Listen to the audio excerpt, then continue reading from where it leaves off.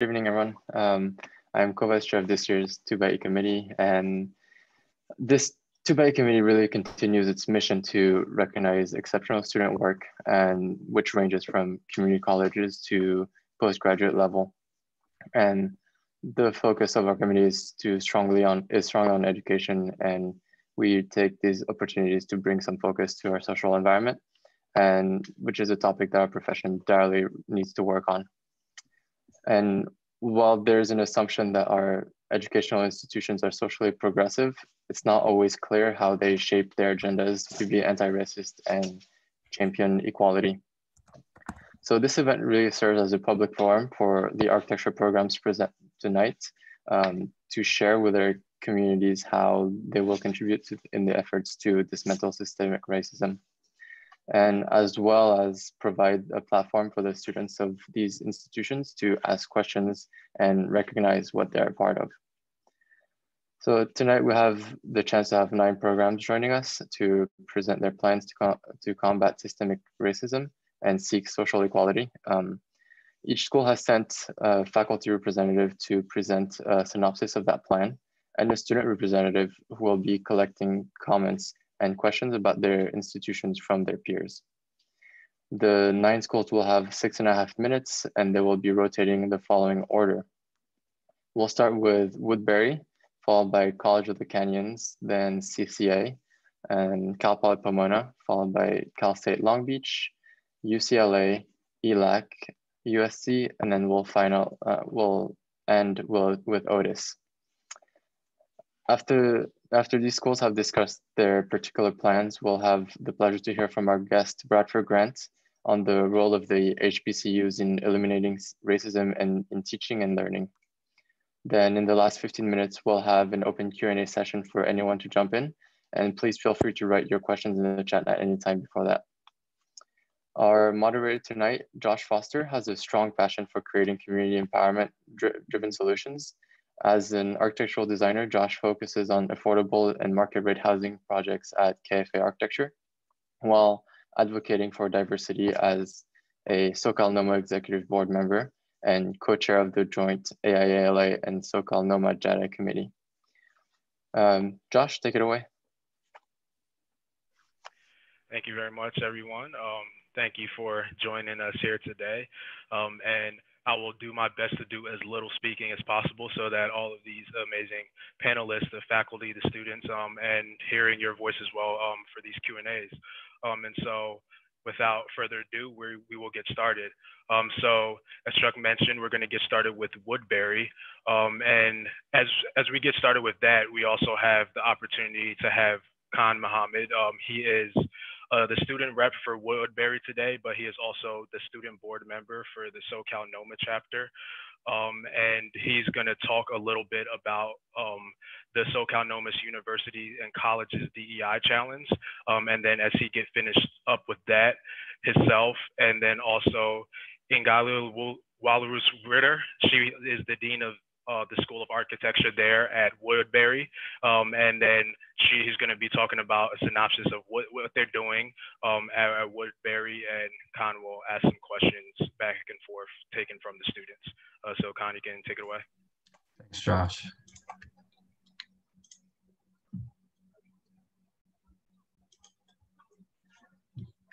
So as Josh said, my name is Khan Mohammed. Uh, I'm the student board member for SoCal NOMA, and I'd like to present all of you the SoCal NOMA School, College, and University DEI Challenge. The DEI College and University Challenge promotes diversity, equity, and inclusion, offering principles and actions that will steer institutions towards creating a more inclusive experience for students of color and underrepresented groups.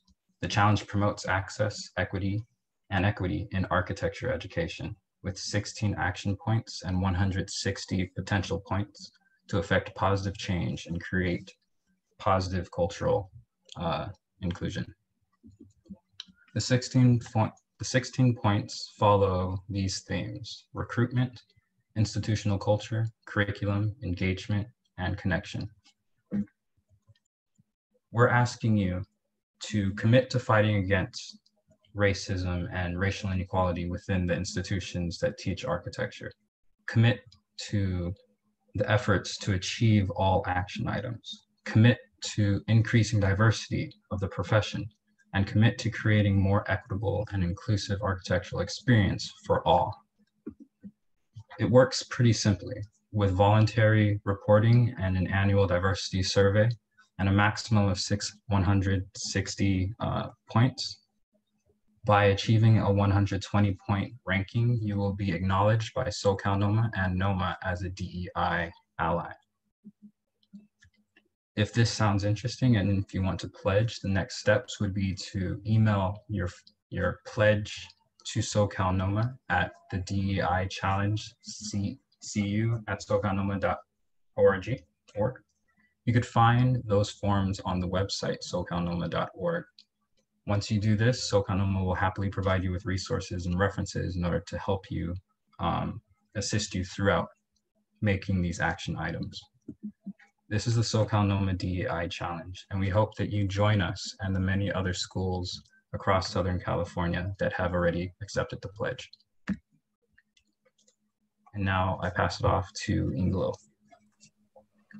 Thank you, Khan. Um, it's so inspiring to have you as a student at Woodbury. So um, let me kick this off here. This is uh, Khan and I will be presenting uh, the Woodbury School of Architecture uh, action plan. So at Woodbury, we believe that architecture has the revolutionary potential to transform society into one that's more just and equitable. But in order to achieve its transformative possibilities, change needs to happen. In 2013, we began a process to increase participation of individuals from groups that have been underrepresented and underserved in higher education and in the profession. In 2020, we renamed our DEI committee the Design Justice Committee and recrafted our action plan to include four goals. Number one, speak up for change, fostering a total environment of respect, including publishing data build new pathways, crafting pathways to guarantee access, opportunity, and advancement, diversify teaching and scholarship for a more inclusive pedagogy and reconstructing educational process, and four, promote economic justice to eliminate economic barriers that have prevented the full participation of underrepresented groups. So here are some projects that we've implemented. And uh, as part of our first goal, amplifying student voices, I've invited Khan to participate in these with me. And so we start off with one, speak up for change. We do this by being visible, by publishing the stories of our students and alumni through our monthly newsletters. Woodbury and the Woodbury School of Architecture has a long history as a champion of social justice. Leading by example, these are the current leaders that demonstrate our values publicly. They are appointed by me, and this is my amazing group of colleagues, Heather Flood, Laura Hode, Jose Parral, Mark Erickson, Aaron Gensler, and Sean Joyner, the leaders of Woodbury School of Architecture. By empowering students as the future leaders, we secure a legacy of um, agency within the School of Architecture. Mentoring students and alumni. These are two of our alumni, Sean Joyner, who's been mentoring another alumnus, Damar Matthews. Uh, Sean Joyner is now Special Projects Coordinator, who's also launching an alumni student mentorship program. Reaching out uh, summer high school programs by offering summer high school programs that are free, offer college credit, and partnering with LAUSD and NOMAS to encourage students to attend. Um, helps us build that pipeline for new blood. Create Pathways. This is our LAUSD partner, STEM Academy of Hollywood. It's a mentorship program where our alumni are mentoring high school students. We received a national award for this uh, program. There's Heather Flood and Catherine Roussel, who are the leaders of this. Promote civic engagement. We established ACE 10 years ago um, and hosted, ho hosted design build studios every year working with nonprofits in Pacoima, Watts, Pico Union, and other underserved communities. Teaching students to teach. This is Germane Barnes. He's part of my advisory board. He's a, actually an instructor at University of Miami. And, and as City College New York Dean Lesley Lokko stated, it's not our job to go out and find Black architects. It's our job to make them. This is a project that takes two generations. So Germane has challenged us to actively cultivate alumni by launching a post-professional program focused on teaching. We build community. Our San Diego campus is in a cultural district significant to Chicano history, 17 miles from the border where every studio project is focused on communities of color. Engaging the real world. These are our, our students working in Tijuana. This is the CLEAD, our Latin American student organization. Redefine practice. And uh, by offering new programs such as applied computer science, uh, applied computer science, media and arts, sustainable practices, construction management, and diversity of disciplines, new perspectives, and speculating about the future of the practice. Championing social justice uh, initiatives last year, our, we had a year of Housing Plus as our year long initiative where all students and studios, faculty were focusing on this issue. Diversifying teaching and the year of climate uh, justice faculty grants um, to award curricula um, and invite BIPOC speakers for a lecture series. Promote economic justice, the social justice scholarships that we started awarding last year. We have a $10,000 student competition coming up in the spring and partnerships with AIA San Fernando Valley and many other economic uh, sponsored studios. And cultivate allies and partners our NOMAS chapter roundtable, Spaces of Resistance, was sponsored by 30 firms. And the AIALA, thank you. Uh, and finally, change the narrative. Asterisk, this is our student uh, run uh, group that aims to provide a space to dissect topics and instigate conversations that have been overlooked in core curriculum classes. We have to build a curriculum worthy of our students. One of the authors of this is actually on, I saw her in the audience. So Corinne Thank you for everything that you're doing. So, Khan, take it away. So, on behalf of the architecture student body, I'd like to start by asking what do you when do you plan on adding faculty of color? So this is a painful question. Um, we clearly need to do more and better. Uh, so when Khan and I met yesterday, we I recognized that we have not messaged well enough in COVID time that we have in fact hired several uh, faculty of color, but that message has to get out more. We're a Hispanic serving institution. Our students want faculty with different perspectives, there's no question. Our San Diego program has 38% uh, BIPOC faculty, uh, much better ratio than our Los Angeles fac faculty, where 20% of our faculty are BIPOC. So we definitely need to do more and better. These are the steps that we're taking moving forward. We have three full-time faculty searches and every faculty search has a job description that states that we seek candidates whose scholarship, creative work, and research addresses the lives, experiences, and cultural traditions of Black, Indigenous communities of color, thereby expanding both access and authorship with underrepresented groups. I mentioned the leadership appointments. Our chairs are hiring BIPOC adjuncts. Our alumni are a powerful source of talent, faculty, jurors, mentors, and we need accountability in forums such as this one. That's great. The second question is, how will you keep up the momentum with students and future students?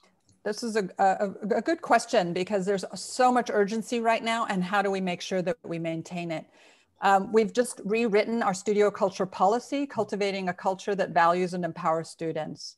We have a new student leadership council with directors and the chairs and I meeting regularly with students, and that's going to continue.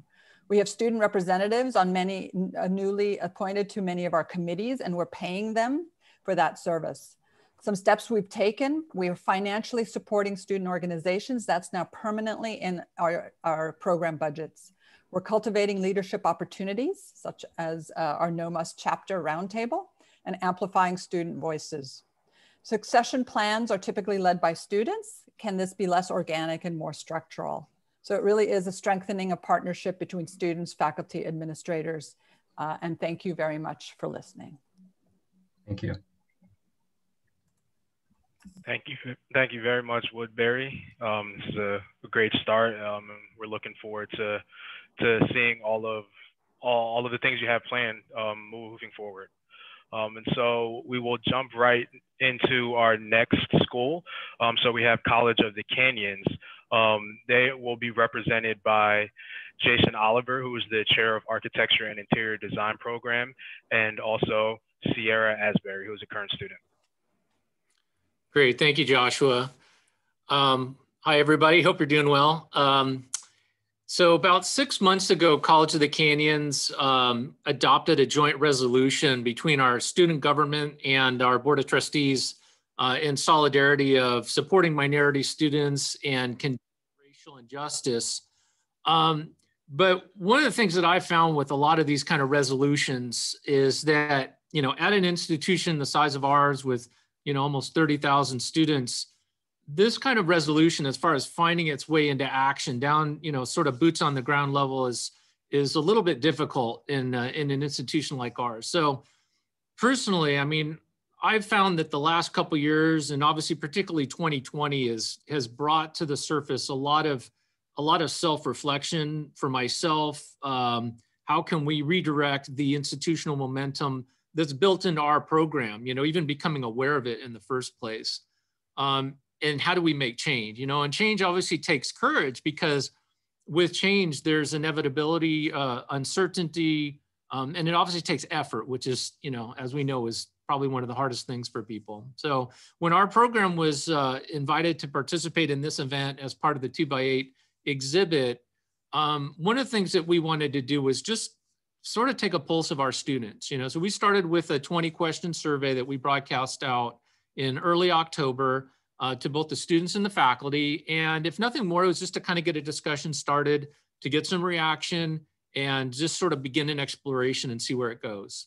So from that, over the last couple of weeks, what we've started to do is for our specific program is develop a draft plan of action, um, which I'm going to share on the screen here. And this is our, our kind of one page blueprint, if you will, um, that we're going to obviously evolve and improve upon, but it's going to help guide us in, in ways that we can start to remove the sort of systemic discrimination and the inequalities from our program because um, throughout academia, throughout our society as a whole, there's a lot of inequalities and we see it as faculty and as, you know, sort of program administrators on a daily basis. It's the students that can't afford the textbooks or they don't have a computer. Had a student today um, who wasn't able to come to class for three weeks because their internet at, at home went out. So finding uh, ways to help those students out uh, is a great way towards, um, you know, moving in this direction. Um, I, th I think it was really important for us to first establish why we're going to be um, moving forward with the plan of action because we have to sort of sell a narrative to people, you know, and it's not just enough to kind of go through the technical, the technicalities of how we're going to implement it, but why are we doing this in the first place? And um, for myself, it was really about making sure that we could support all of our students, uh, that they all felt appreciated and that they all thrived. And um, the, the sort of details of how we implement that, of course, is, is a much more technical thing, but um, this plan of action I think uh, kind of sets us on a trajectory towards doing that. So first thing was becoming aware of uh, the communities around us. And, you know, so we can obviously pull sort of statistical demographic, um, demographic info on our students, but it's going to be a, a bit more qualitative than that. So we've actually held our first kind of town hall meeting with students and faculty. And that's something that we're going to try to do at least probably twice a semester to have a forum for discussion and also to get to know people on a much more personal uh, basis. Um, it's important that we communicate this plan to students that it's not just a document that gets kind of filed away and you know doesn't get acted upon, but it's something that is in all of our syllabi, all of our communication to the you know student body and to the outside world that this is something that we are uh, actively working on and are actively cognizant about um, for any kind of decisions that we make. Um, and I think very much very similar to what Woodbury is doing, a lot of it uh, revolves around uh, culturally responsive teaching practices. So introducing students to these diverse narratives that are in many ways all around us, but they don't get singled out, they don't get highlighted, and they don't get supported academically in the way that they should. And so they don't gain the traction that some of the, the sort of, you know, uh, broader, uh, more popularized narratives do.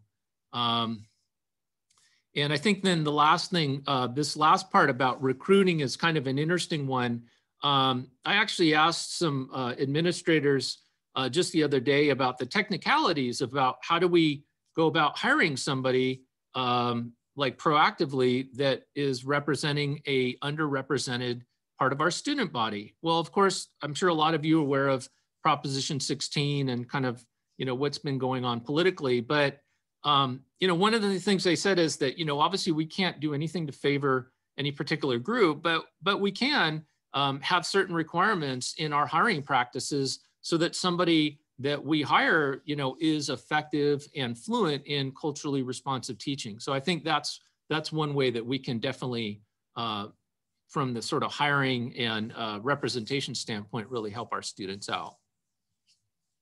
So that's kind of where we're at as far as a, a snapshot of College of the Canyons uh, plan for removing systemic uh, discrimination and uh, inequality. Sounds good. Um, thank you, Jason. Hi, I'm Ciara. I'll be the student rep for College of the Canyons. Um, so I guess based off our own studies and just who I've asked as far as when it comes to questions, um, what do you think are some of the biggest barriers we have to overcome when it comes to race and education for our school?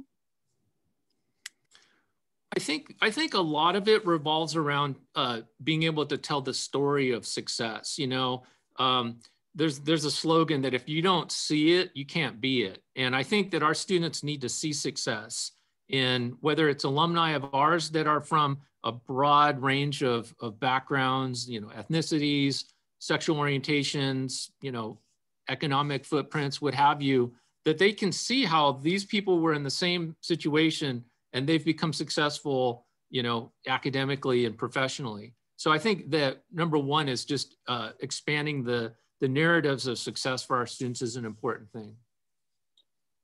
Sounds good. Um, and then our final question would be, who are we going to be holding accountable when we feel that diversity is not being represented at the school? Well, it starts with me as the uh, program representative. Um, I, I, you know, we are a large institution, and I think it's unfortunate that in bureaucracies, there's always a tendency to be able to kind of hide in the bureaucracy. Um, but as myself as the department chair is kind of the face of our program, um, you know, I, I very much want to be held accountable. You know, I'm obviously there's a larger uh, campus infrastructure that's that's actively uh, looking to address these issues. But I think as far as our corner of the world at College of the Canyons, you know, myself and the faculty, we're the ones that are uh, the ones that are going to be um, actively implementing this in the classroom and then you know you know including the students in the dialogue and very much in the decision making process to to guide this going forward. Sounds like a plan. Thank you. Thank you. Great. Thank you both very much. Thank you. So we will move along to our next school um, and so up next we have CCA, California College of the Arts, um, and representing is the Chair of Architecture, Keith Krumwiede, um, and then also current student Arturo Gomez Escobedo. And so take it away, guys. Thanks, Joshua. Uh, and thanks to AIALA and the 2x8 committee for convening this conversation.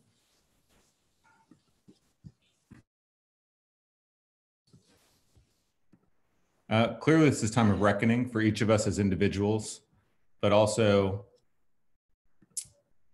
for the disciplines and institutions whose resources and power have too frequently been used in the service of maintaining unjust and unequal systems.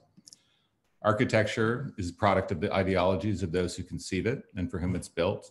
And throughout history, architects and designers have been bound in service to the privileged and the powerful. As such, architecture has often been a tool of oppression rather than one of liberation and it's long past time that we reconsider who and what interest we serve.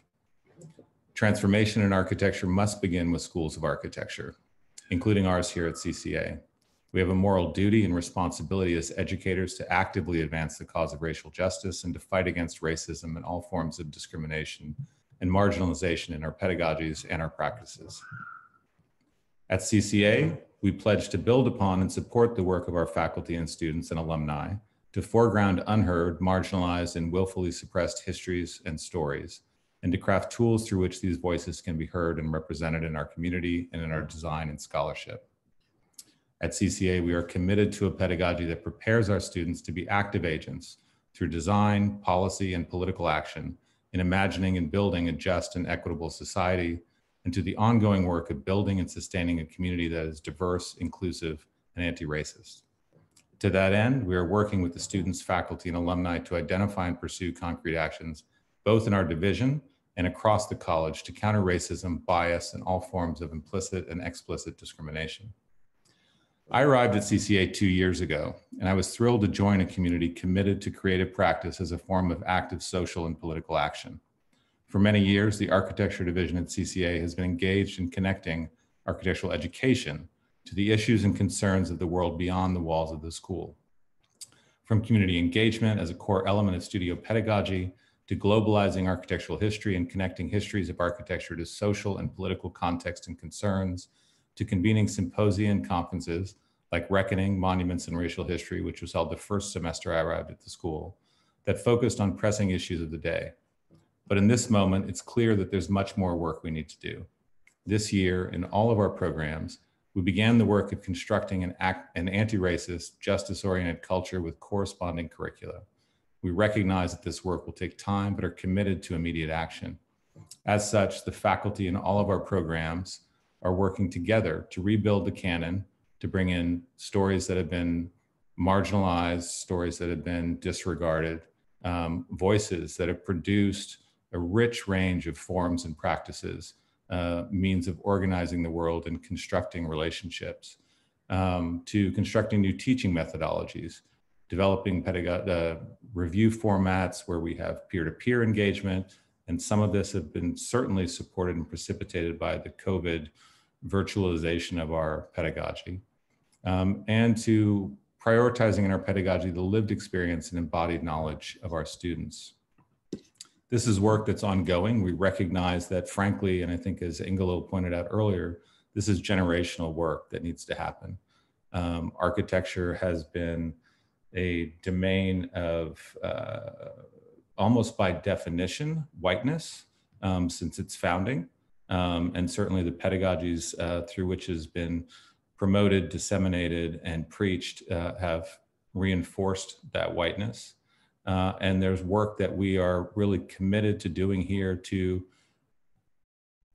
look at ourselves, um, to look at the systems we propagate, to look at the knowledge that we, I think in some cases, regurgitate without really reflecting upon what it means um, what knowledge systems and practices and intelligence is uh, excluded in the propagation of those practices, um, and to rebuild uh, really who we are and what we do, and to ask our students to join us in that. We began in the summer um, with some town halls where we brought the students together, we brought faculty together to really just analyze ourselves, put ourselves on the couch, and then at the end of the summer, right before the start of the term, we held a faculty retreat, which was focused on constructing an anti-racist pedagogy. We brought in consultants from uh, other colleagues at the college here at CCA. We have a group called the Decolonial School. We asked them to come and join us, tell us a little bit about the work that they've been doing for the last year and a half.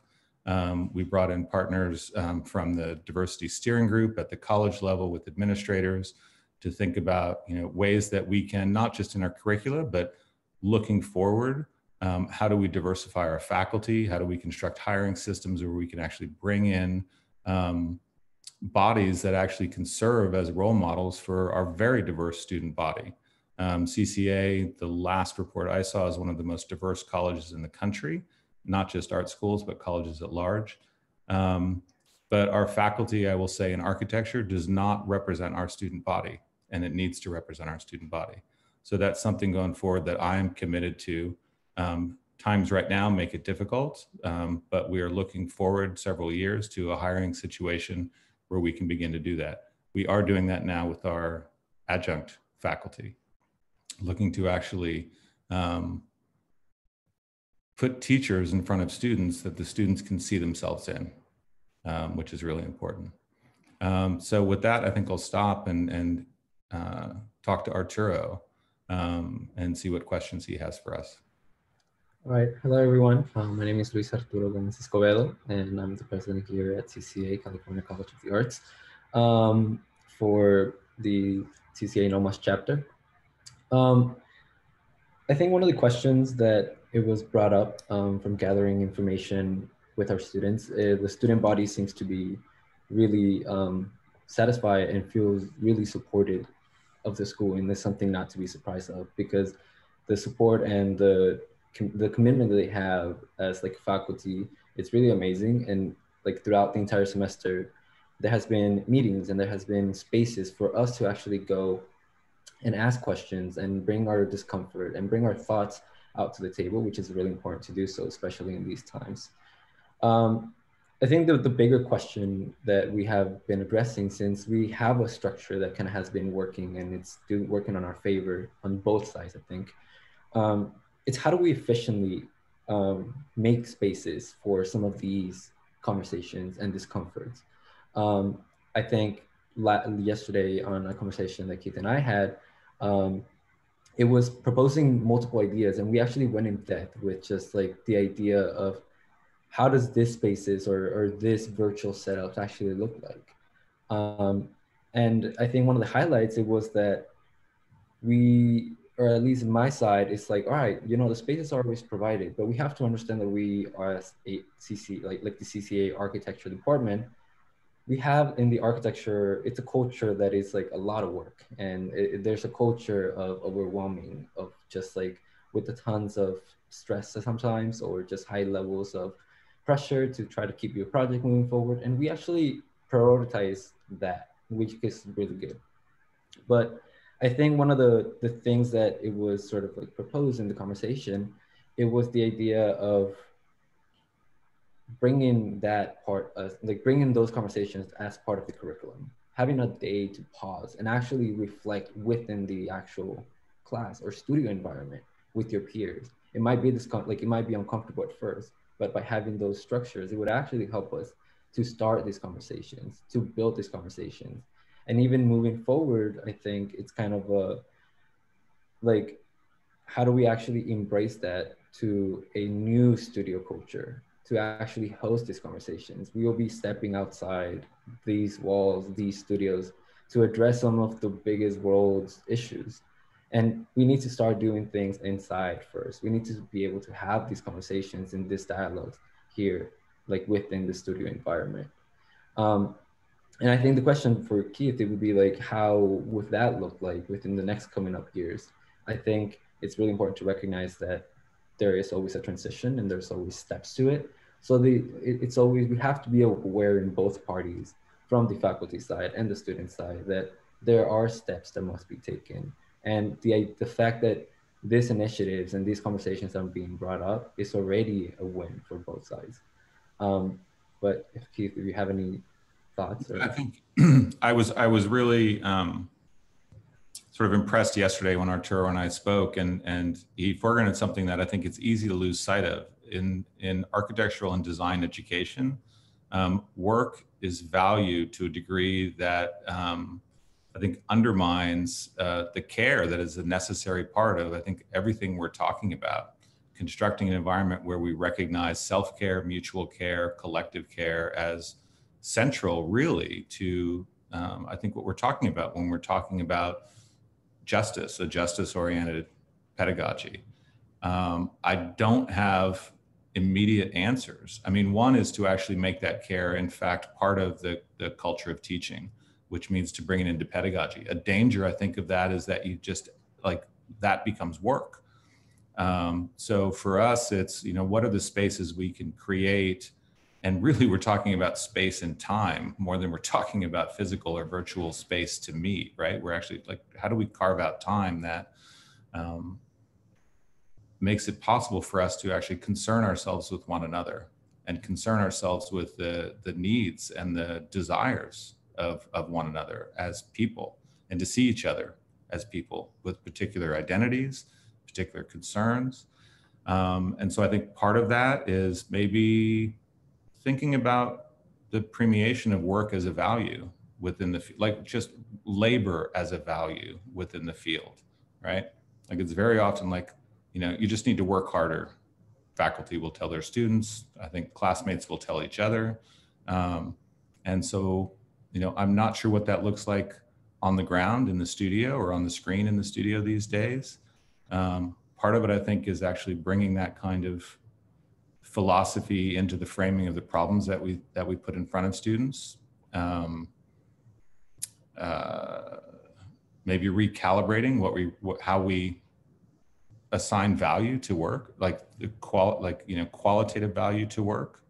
Um, it's it's an ongoing concern, and it's certainly something that the faculty is talking about here. I think a big part of it is actually like recognizing students as the best critics in in a community in a design community, right? And, and and I think that's also an amazing thing because we have actually seen the action taken from the faculty side, which is that's kind of the, the conversation was driven into. It was the fact that we are like the faculty and, and staff and even student leaders we're hosting these spaces to have this conversation. But yet students are finding a hard time coming to it because it's in a virtual setup. We have studio we have work and it, it's just like prioritizing the conversation do i do my drawings for next class or do i go to a discussion about racial inequality um, and sometimes unfortunately people prioritize having a better grade than that. So that's why the introduction and the idea was like maybe we bring it up to the studio environment and allowing the studio to address some of the issues internally and then step out out of our doors to local communities and sort of like starting to address those issues to feel everybody to make everybody feel welcome um, and to create a system that allows all of us to actually be involved in addressing these issues not just through a dialogue, but also through actions. Thank you both very much. Very, very great points brought up there. Um, we want to move on to the next school. And so up next we have Cal Poly Pomona. And so representing the School of Architecture, we have professor and advisor for the NOMAS chapter, Irma Ramirez, and a current student, Henry True. Great, thank you, everyone. Um, it is it is just absolutely great to see this kind of support. Um, you know, when I was a student, it, you know, uh, I, I, think we all wish that there was this uh, amazing dialogue going on, and at many times, I think you know, much more of a struggle to you know for for these issues to be accepted at this level of uh, of discussion of the profession. Um, at Cal Poly Pomona, I will say that you know we are committed to diversity and inclusion. Uh, to just highlight a few numbers, we have 40% of our architecture students are uh, Latino, 24% uh, are Asian, uh, but only 2% are African American. Uh, we are very fortunate that the university supports the mission. It is absolutely a priority of Cal Poly Pomona as an institution to deal with uh, systemic uh, racism and to um, exercise inclusion in all of our practices. Um, in the area of recruitment and community outreach and engagement, um, eh, we have been incredibly successful, led by our students this year uh, to form uh, a NOMAS chapter that uh, in just a few uh, in just a few months was able to reach 40 members. So we know that this that this is an initiative that the students are asking for, and I know that they are the ones that um, are going to keep us accountable.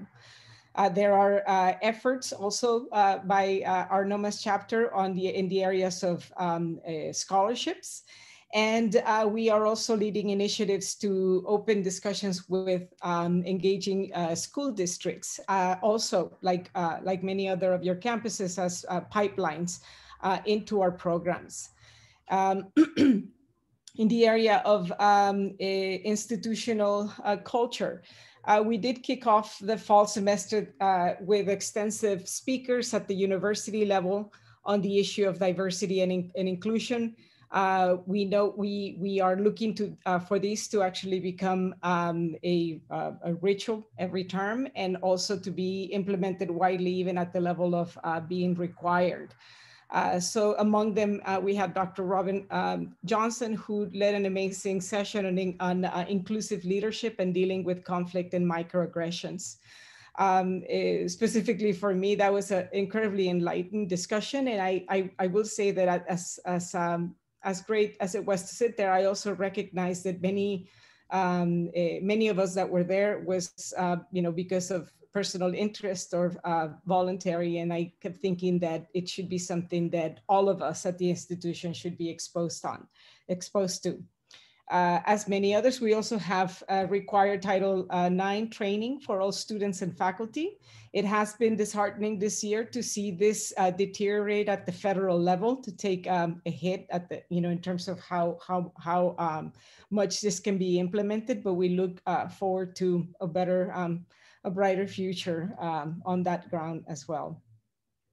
We actively do engage uh, in inclusive hiring strategies, and this is again an initiative of the university uh, as they are committed to this effort. They provide financial support uh, for um, our department when we when we have specifically tenure track uh, positions um, that we we can actually utilize funding to reach out uh, to minorities in the profession.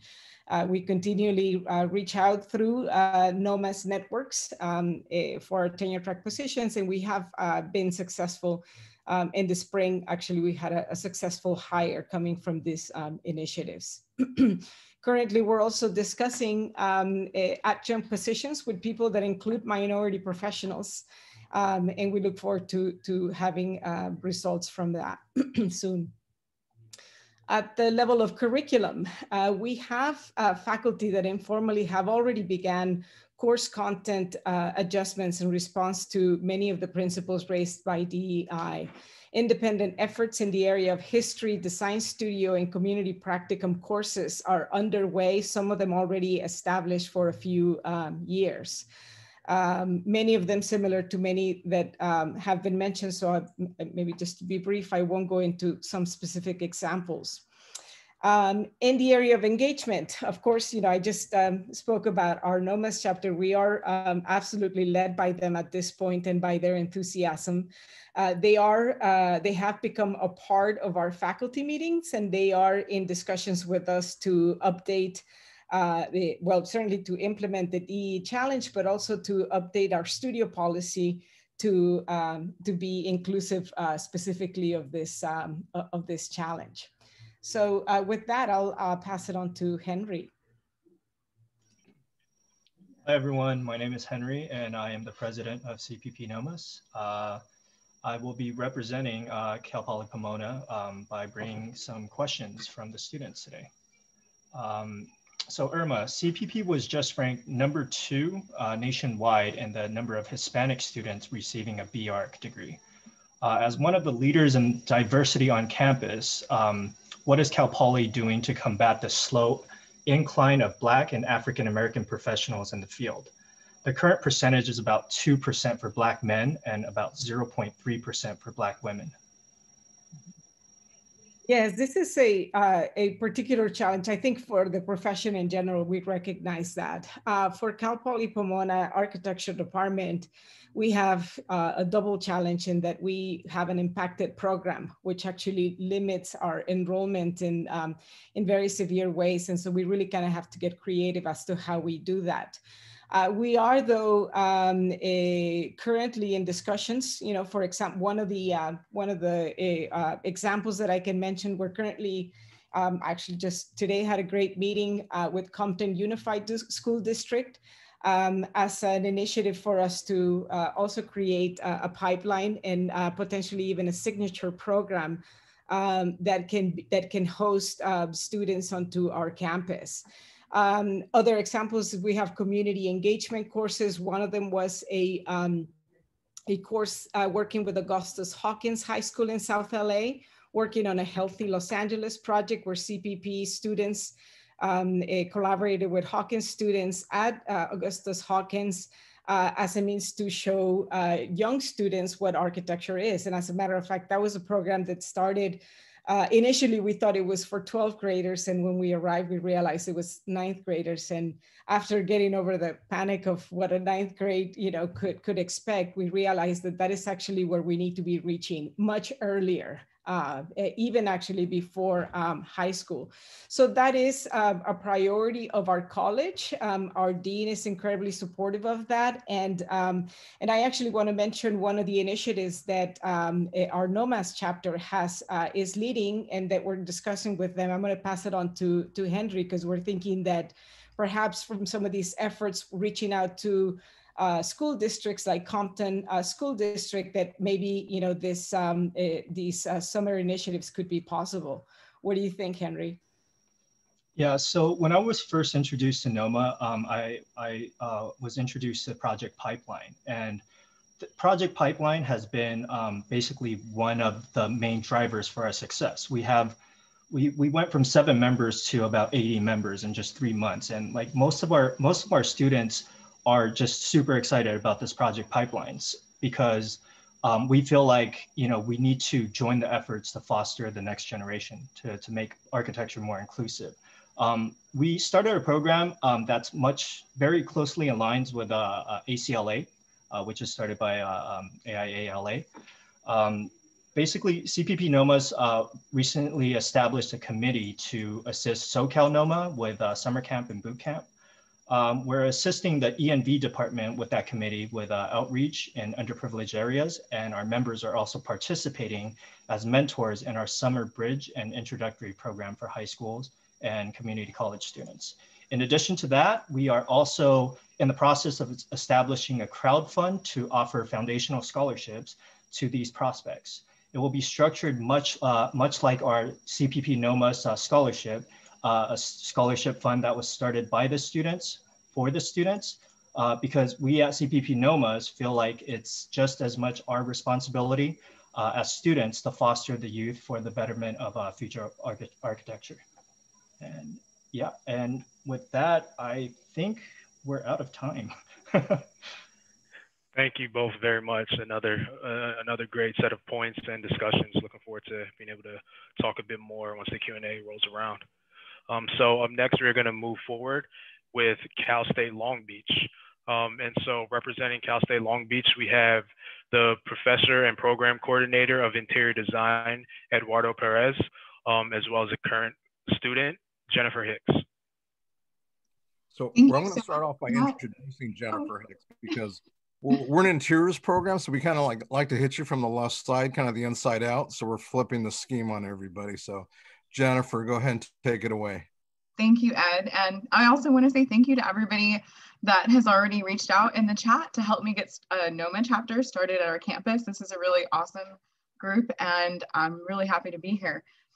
Um, so I'll get started. Uh, we are very fortunate that we live in Long Beach. It's an extremely progressive city and the Cal State Academic Senate Executive Committee, along with our campus president, Jane Conoley, have been quite open and vocal on their position and standing in solidarity with the Black Lives Matter movement.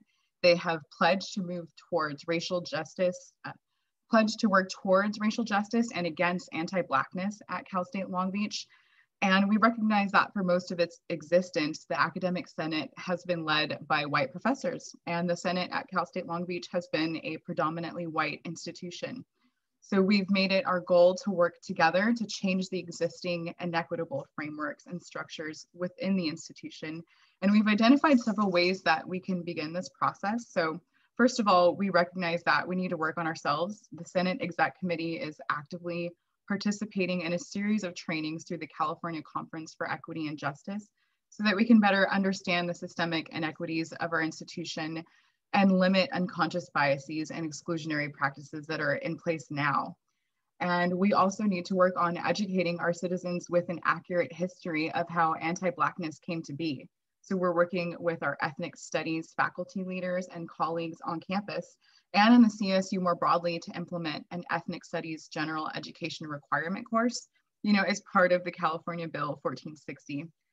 And we're working to change our hiring practice. This is something I heard a lot of the other schools talk about. It's unfortunately Prop 16 didn't pass, but as someone else mentioned, there's other things that we can do. Um, we want to propose the inclusion of an equity advisor in all of our search committees. And moving forward, the Senate has pledged to include administrators' work towards racial justice as a category to be evaluated during the hiring process. And access and retention of and for our Black, Indigenous, and students of color is also imperative. Our plan of action really must go beyond the walls of our university and come in the form of outreach to the local high schools and junior high schools in our area because we need to reach students before they get to the level of higher education. The problem at our school is not that students of color are not being admitted into the program, it's that they don't even apply in the first place. So we are going to continue to disaggregate admissions and retention data for Black students with the goal of interrogating and remedying inequities in Black student access and retention at Cal State Long Beach. And then we hope that these inequities will be analyzed by each of the colleges within our institution at the undergraduate and graduate levels to determine why Black students withdraw or, from our programs or why they choose to persist, persist at Cal State Long Beach. And we'll ask the colleges within our institutions to link these findings from this project to a diversity action plan for access and retention so that we ensure that our local partners are representative of schools and districts from which we want to recruit Black students. So I know that was a mouthful. I am going to move ahead and ask Ed some of the questions that came from our student body. Um, one of the concerns was what are some programs that promote racial justice and social justice on campus? Um, so one of the things is that we're, we're a small program within a large university and the largest you know system university system in the united states so there's different levels of kind of politics that we have to go to but we're the little program that can we're, we're very much very much kind of the dog the the tail wagging the dog and many times so so we're kind of you know we're, out there on, on the front lines if you will and you can see that we empower our students such as jennifer hicks. We value their voices. That's one of the reasons why we wanted to turn this around a little bit as well too. Uh, we value everything that they say and we listen. We listen. We just don't hear. We listen. But some of the things that that that are going on campus university wise and we're really trying to make it very much of a focus you know within our program is that the CSU, the CSULB Center for Health and, and Equity Research is constantly in an effort to engage students to get involved in the fight against racial inequality for providing up-to-date resources and opportunities for students to fight inequality themselves through their website, which is readily, readily accessible to everybody. And really everybody on campus knows about this. I mean, as, as Jennifer has, has, stated, our president is, is, is such a champion for this cause. And you know, we're so grateful for having her there. That um, the advocate for specific cases and policies, we can act upon things such as related to the, obviously the George, George, Floyd situation, Breonna Taylor, and the list goes on and on and on as we know, unfortunately, and it kind of continues to to continue with that, sadly but true.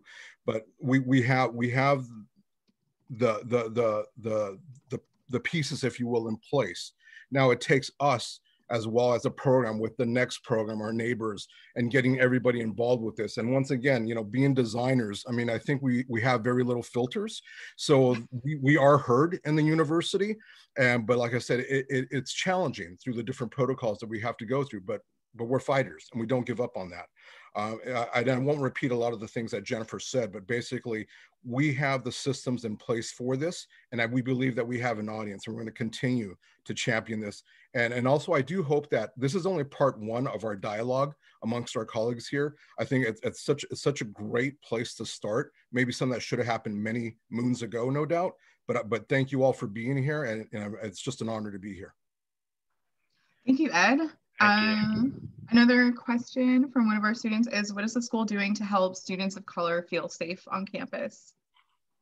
So to, to add upon some of the aspects that we just kind of brushed upon, the Academic Senate Executive Committee has vowed to support the departments and programs that support Black students in several ways. They will support the institu institutionalization of funding for the Black graduation of the Black Students Union more broadly. Excuse me the campus has fully removed the Prospector Pete statue, as many of you guys have known. That, that made it all throughout the news, and obviously it's very controversial. Don't know if the shark is the best one that we got, but regardless of that, we've moved on beyond Prospector Pete, and obviously the the the ties to to that era um, and what it meant. Uh, the campus has, uh, excuse me, and, and, once again to show solidarity with the indigenous communities. Um, our indigenous history department is quite large and quite varied. Um, and we're trying to build stronger ties with obviously cross collaborations within our campus. That's uh, that's one of the beauties of being a, mm-hmm. at a, such a large campus where we build ties with other departments.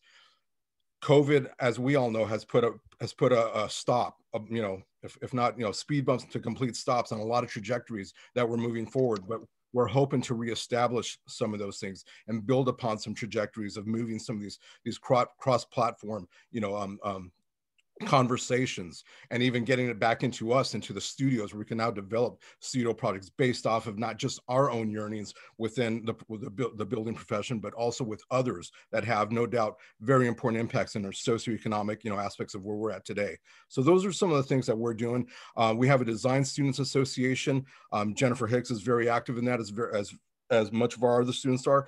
And we're missing the town hall meetings that we used to have. These were very engaging town hall meetings where the the intangibles came out these these small sidebar conversations which meant so much that it's much more difficult to have in this age of kind of virtual communication. So there are no doubt a lot of five sensory aspects that are endemic to us as human beings that we're trying to kind of figure out how to do that virtually. Um, I, I, don't think the, the bumps are that large that we can't overcome but but there's a bit of a paradigm shift as to how to how we continue with these things. Mm. thank you. Thank you very much. Thank you we will be moving on to our next school. Um, and to keep things moving at a good pace, we're asking um, the rest of the schools, the students, if you can give your one best question to ask the faculty member. We're gonna go with that. And then once we get to the Q&A, there's more time, we can kind of circle back around. Um, so up next, we have UCLA. Um, they will be represented by the Associate Professor and Vice Chair, Gutan Ayada, as well as current student, Roya Chagnon. Thank you very much for the uh, uh, invitation. Really too happy. I'm happy to participate in this conversation and this dialogue. Um, I think, needless to say, we're going through um, a seismic moment, uh, a moment we, which we can no longer ignore, uh, we can overlook. Um, we have to look at ourselves first and kind of redefine who we are. Um, and it needs to happen through um, conversations like this, sometimes difficult conversations. But at every moment of crisis, there's an opportunity for creativity. Uh, and I think that's something uh, that we want to keep in front of us at every step of the way when we ultimately are in a discipline to redefine the future reality of our world. Uh, and hopefully, uh, through these steps uh, for a better world than uh, that we were left with. Um, we are at a we are under a unique structure at UCLA as a, a Department of Architecture and uh, Urban Design. Uh, we are one of the four academic units uh, and three public units, including um, Hammer Museum, Fowler Museum, uh, under School of Arts and Architecture. While this uh, kind of siloing uh, and autonomy presents opportunities to um, kind of have our way and explore, through recent reflection, uh, we realized we siloed from one another to a point where uh, there is uh, there is no meaningful dialogue for interdisciplinary exchange and expansion of our uh, knowledge set. Um, this year in June, um, Dean Brett Steele assembled together uh, a AEDI commission uh, made from students, recent alumni, um, faculty, staff, administrators, uh, to begin to work to incorporate into the strategic planning of 2025 to take concrete steps uh, to change the culture of the school uh, for a better direction. Um, under this effort, we've been meeting every week, um, kind of through the commission, through subcommittees that uh, later expanded to um, kind of student representatives from departments, um, further lectures, other faculty, that are not part of the commission uh, to brainstorm and seek what is it that we can do specifically. Um, we came up with, uh, with a vision uh, that I will share here uh, under three headings uh, in its uh, short format, which will be made public in the coming weeks, which is being presented to the Vice Chancellor to set example for the university as a whole uh, and being integrated into the strategic plan so it becomes uh, a very concrete step in the way uh, we practice our teaching, we run our departments, and we treat one another uh, in an environment of working and learning. Um, the vision is um, uh, organized under uh, three main topics, training and professional development, structure, accountability, restoration, and recruitment, uh, and finally, curriculum.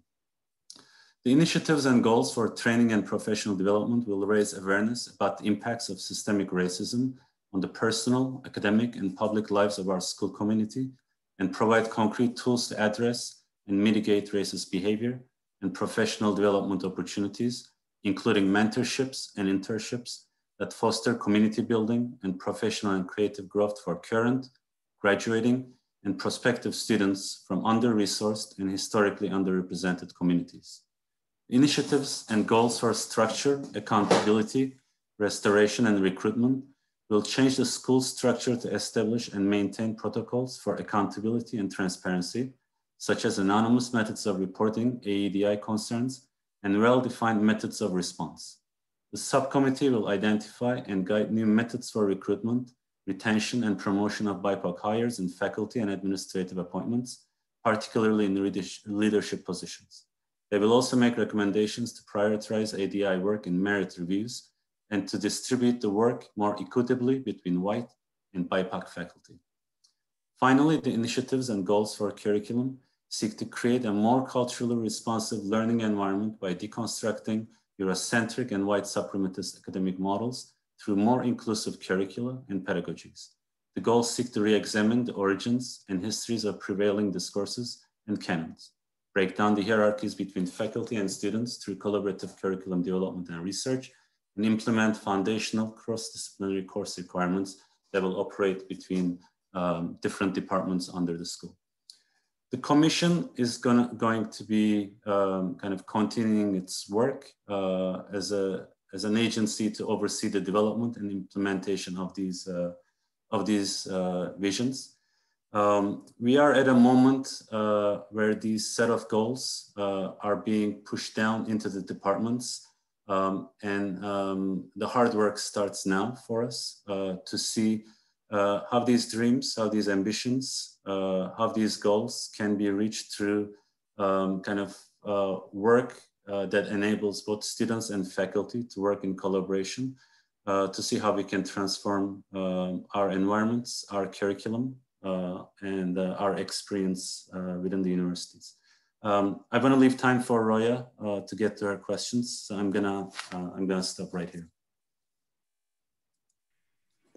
Hi everyone, I'm Roya. I'm a second year in the Master's of Architecture program at UCLA. I've been working with Kutan a lot on kind of these EDI efforts. Um, so I know that our time is short. I'm gonna try and cram a lot in here. Um, I just want, we collected a lot of great questions from the student body and I wanted to um, read one along with a, a comment from um, one of my peers in the program. Students and faculty of color are extremely underrepresented within the program.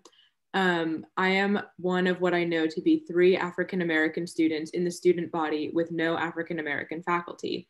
Coming from an undergraduate program that was extremely diverse, where people came from all types of backgrounds, to university in a city that's more diverse, yet the program is not, I find it kind of odd. So I just want to ask um, why do you think that our department has failed to attract, hire, or admit underrepresented minorities? And as a public university, how can we ensure that we are serving um, the public as we're intended?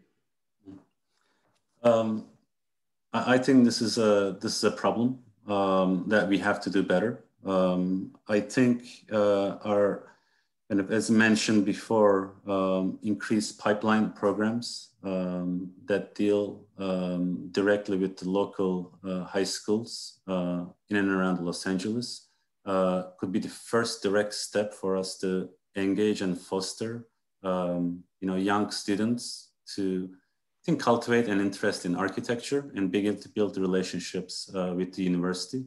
Um, with our two summer programs, uh, we already engage them, uh, but I think our, our outreach, not only through School of Architecture, but also through the public units that happen that are under the School of Arts, uh, can have uh, more programs to draw from uh, from the constituencies uh, within the city that that draw from BIPOC representation. Um, and I think uh, in terms of how to give back to the community, um, you know, uh, I think this comes to uh, thinking new models of uh, uh teaching within the studio uh, and how we can imagine you know, projects within the curriculum that can begin to uh, engage community outside of the norms that we have been traditionally dealing with. Um, and I think some of the labs within the school that already begin to do this. the City Lab has a outreach and programs that deal directly with issues of zoning, uh, Uh, within Los Angeles, uh, but also building prototypes uh, that deal with homelessness, uh, some of the uh, examples we have seen from recent years. Um, but having said all this, I don't think these are satisfying moments to stop. we need to expand and try to do better in our recruitment, both for faculty and students. If there's time for another question, I'll ask, but if we're short, let us. Let's, let's, um, let us save it till the end. Thank you very much, though. It was a very good question and comment you had from the student there. Um, so to move forward, um, we're gonna move on next to East Los Angeles College. Um, and representing ELAC is the chair of the Department of Architecture, Michael Hamner, and a current student, Stephen Curtis. Thank you, Josh. I really appreciate this, and I thank everybody for allowing uh, East Los Angeles College to participate in this event. You know, when I was posed with the question about discussing dismantling systemic racism in pedagogy, you know, at an institution that's located in a community that's 96% Hispanic and itself is comprised of 97% minority enrollment, you know, one can, one can, you know, take a moment to pause However, our college and, and, of course my program or our program recognizes that the umbrella designation doesn't include all who identify as underrepresented populations.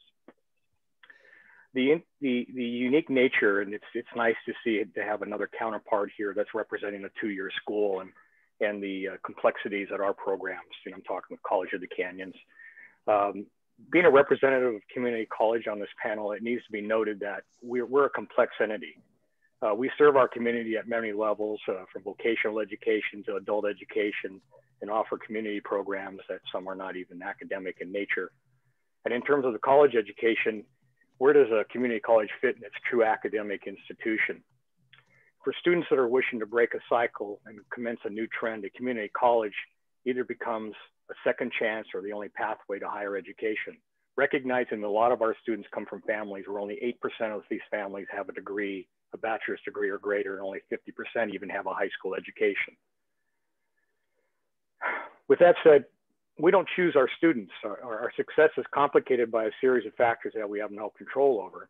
However, we need to, to provide equal investment in each one of our students who enrolls in our programs. Knowing much of that energy we may be for naught, at least initially, we, we, we invest in this because it's the right thing to do and we don't know what the end game could be for a lot of these students who may pass through our doors and not stay with us. I'm setting this up because I'm talking about how a program like ELAC operates and hopefully through some of the, the data I can give you here in terms of our success, it establishes, uh, at least I hope, you know, uh, our methodology and how we're um, uh, meeting these needs of diversity and inclusion.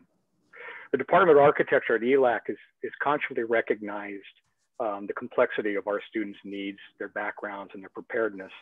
We have served this evolving community for 75 years, and, and the Department of Architecture has been a part of the college since day one. When we delved into this specific topic, I was sincerely moved by the student responses to the dis dismantling systemic racism in pedagogy questionnaire that was posed to our students. I, I, I, am looking at it right now, and, and the ratings uh, were amazing, and, and, and the and uh, the feeling of our students in terms of the of our faculty representing them was was uh, incredible. And to think about it consciously, we do not have or had not had a DEI program. So I got on my I got off my ass here and I, I, I put one together and I, I, wanted to break it down very quickly.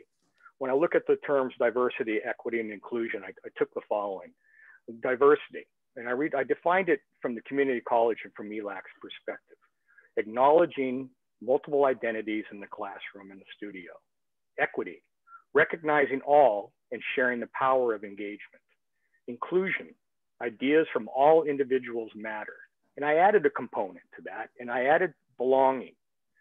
So with DEI, if you do it right, we create belonging, which engage all individuals, integrate all their values. So I put that to our litmus test, our litmus test being what have we done over the last few years? I've been at ELAC for 29 years. And over the last 14 years, I've been at the helm of this program. And what I've done is to try to manage our relationships with our students. So we, cre we, we created the data, so to speak, our, our uh, analytics. And we, we, we analyze our students and we, we stay in contact with them from the completion of our program as they transfer and even into their employment years. Over that 14 year period, we've had 350 students transfer from our program, averaging about 24 students a year. Almost 98 students, percent of those students have graduated. And from my partners, the university partners that are here, um, you know what our students mean and what they represent and how they have have actually brought their culture in a positive sense to your programs. Prior to that, we were only averaging about five a year. So how did we do this? So here's the test. Number one, we make their engagement with our program personal. Partly due to my embedded life in East LA and my experiences, it's about respecting, understanding, and being empathetic to, uh, to their culture. After that, it becomes even simpler. We strengthen our design studios around the studio culture. I mean, all of our universities do this. The concept, we, in concept, and we utilize object-based learning as a means to connect with our students via their cultural knowledge and their prior experiences. This allows our students to take ownership in their learning. This is critical. In, in a community college, this is what happens. Many of our students are not even assessing at college level reading and math. We had to counsel our academic counselors to allow our students to enroll in our design courses with an understanding we will teach them how to learn on their own terms you know, via the contextualized learning. The contextualized learning methodology was augmented by a very important component that I believe our, our program is unique with, and that's the cognitive process. Unique maybe only for the fact that we talk about it. I'm a firm believer in the cognitive learning, the study of architecture, and the studio culture is a natural conduit for that. Learning how to learn strengthens critical thinking, and critical thinking is supported by process. Our process employs embodied cognition, which is a motor system influencing, influencing our cognition, and this becomes the ELAC learning cycle. When you think about where a lot of our kids are coming from, where math and science is not a strong suit, nor are they interested in it, nor is it something that their families may be uh, instilling in them. We need to teach come from a different place and their experiences in their life and their cultural knowledge becomes a great starting point for them to learn how to learn. When we simplify it, it's simply this students are learning by doing. Our students enjoy learning by doing. We develop analog skills, which produces instantaneous results that is recognized and hence leads to confidence. So we started off with a really important term here, and that was being personal and developing confidence through learning through their strengths. And yet, as our partners, university partners understand, our students come in with high critical thinking skills, a lot of obviously uh, graphic skills and communication skills, and they accumulate, accumulate, uh, what they do, they assimilate uh, very, uh, very seamlessly. That said, analog skills also will develop our digital skills. And as the digital becomes available to our students, it creates a stronger benefit and, and, and foundation. The point being is we can't hold our students back because they don't have access to the technology and digital in the beginning formative years and foundation years. And we find that to be an extreme case here in our community in East Los Angeles. And yet our students are still able to matriculate eventually. This translates to a success that is based on trust. So we've had being personal, developing confidence, and now we've based or we've created trust. When you empower your students with skills, there is a sincere relationship of integrity that leads to hope. Lastly, we engage. We engage our students oftentimes before they even enroll in our program. They contact us, we advise them. We maintain that engagement that extends past their graduation. Very common for our students to come back to our studios, even while they're enrolled at the next level. During their times between studios or whatever it may be, they already want to come back and give back my background at USC with the Trojan Network, being in East Los Angeles, the Mi Familia concept in the, in in the Hispanic culture, it, it, it, comes together and it blends itself. And I don't have to push this. Our, our instructors don't push this. They do it on their own. We're also finding that we're having a large wave of, of former students wanting to come back and become adjunct instructors, which we are engaging with them and we're hiring them. And then of course, we, we students engage uh, us as uh, with us and with our future students. So by making this personal, we teach skills that lead to confidence, sharing these skills and tools to create a level of trust that instills hope and leading to engagement. And that's the cycle that repeats itself at East LA College. A final component that assists our students is pride. We believe we have reinvented the community college architecture program experience. Remember, we started with that. That's the foundation of where our students learn. They bring in an experience. They may not be, they may not have the academic acumen, but they come in with a lot of experience. And when we create an experience for them, it enhances their, their learning component. Our transfer history, our university articulations, placing underserved populations, some of the most respected programs across the country, including Cooper Union, Pratt, Auburn, Syracuse, as well as, of course, our local schools and partners, USC, Woodbury, SciArc, Pomona, SLO, uh, it, it, it, speaks for itself. Our curriculum is composed of some 35 courses in design and theory, technology and professional practice, digital design and fabrication, and of course we integrate this. We have, a, in some ways, a more vast curriculum than some of our universities do. We have five full-time professors. We're all AIA members. Got to put the plug in. We're in an AIA event. We have two full-time instructional aides, and we have 12 adjunct professors that come from a very uh, uh, wide uh, perspective of the profession. We have an emeritus student advisor, one of the founders of SciArc. We have a full fabrication digital analog model shop. We have dual enrollment, uh, four local high schools, including uh, uh, Hollywood STEM, Ingelo. We actually have two classes on that campus. See, another thing that we share together. Um, we have uh, uh, partnerships uh, with USC who embed some student teachers with our instructors. Our instructors that we have at the high school courses, by the way, are former students. They're the ambassadors for our program. They're the ambassadors for the architecture, and that's how we get the next generation in recruitment. We have extracurricular activities. It's too, it, it, I should have done this a lot sooner. One of the things that's really elevated us and pushed us, when you do what we do in our community, it's important for our community to know that we're not isolated, we're not balkanized. And I've been wanting to push our success to a greater community. And that has included, uh, you know, the African American community. Where or what school in, in, in South Central Los Angeles and any other uh, uh, areas of saturation do they have a school that can provide them a pathway, an economic pathway, and of course, one that helps with their uh, giving them a, a fair shot at, at being successful at this. And if they, they don't have it, then we need to go to them. And so NOMA has been a partnership that I'm very proud of. And with our NOMA partnership, we're the hosts of their pipeline and their fall uh, uh, series. We now have a obviously a NOMA student uh, club as well. And with me tonight, uh, Stephen Curtis is, is the VP of that. We also have USGBC. We have a relationship with the AIA. We compete in competitions and exhibits, AIA 2x8, obviously this event. Congratulations to two of our students for being recognized and winning uh, awards. Uh, Design Village and other. We were very competitive and we want to compete at the university programs. We're not competing at the high school and junior college ones. We have a lecture series. So we bring in a diverse number of speakers, both representing uh, uh, uh different uh, genres of, of, work and as well as, as themselves. We have a dedicated college counselor we developed for our college. We travel. We, we have a two-week uh, event or two-week uh, travel to Europe every winter, and we have a one-week event to Chicago every summer. We have an advisory board that's made up of all the universities. We have architectural firms on our advisory board.